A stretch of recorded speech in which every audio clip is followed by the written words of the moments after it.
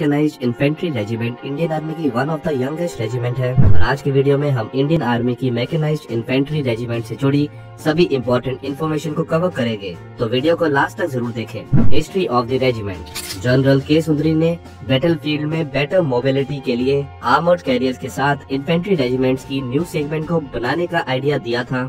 1965 Indo पाक war के बाद इंडियन आर्मी की 10 बटालियंस को इक्विप किया गया with T SKOT and BTR-60 armored personal carriers. Later in 1979, all the mechanized units were brought together and designated as Mechanized Infantry Regiment और general K सुंदर जी को ही अपॉइंट किया as first colonel of the regiment अपने inception के बाद से ही मैकेनाइज्ड इन्फेंट्री रेजिमेंट ने operation Pawan operation Vijay operation Rakshak और यूएन पीस कीपिंग मिशन समेत कई ऑपरेशंस में पार्टिसिपेट किया है।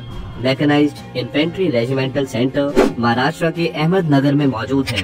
Which is also home to Armored Core Center and DRDO's Vehicle Research and Development Establishment. इसका ट्रेनिंग एरिया 2000 एकड़ में फैला हुआ है, जो एनुअली थाउज़ेंड पर्सनल्स को ट्रेन करता है ट्रेनिंग को थ्री पार्ट्स में डिवाइड किया गया है that is infantry training composite training और driving and maintenance training currently mechanised infantry regiment equipped है with BPMP one infantry fighting vehicles BPMP two infantry fighting vehicles BTR 60 and BTR 70 armored personal carriers and Tata Kestrel designed and developed by VRDE, DRDO and Tata.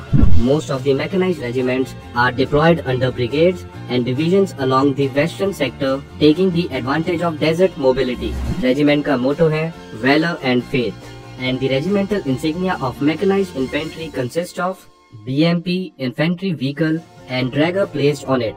Currently, the regimental has a size of 27 battalions. जिन्हें diversified किया गया है.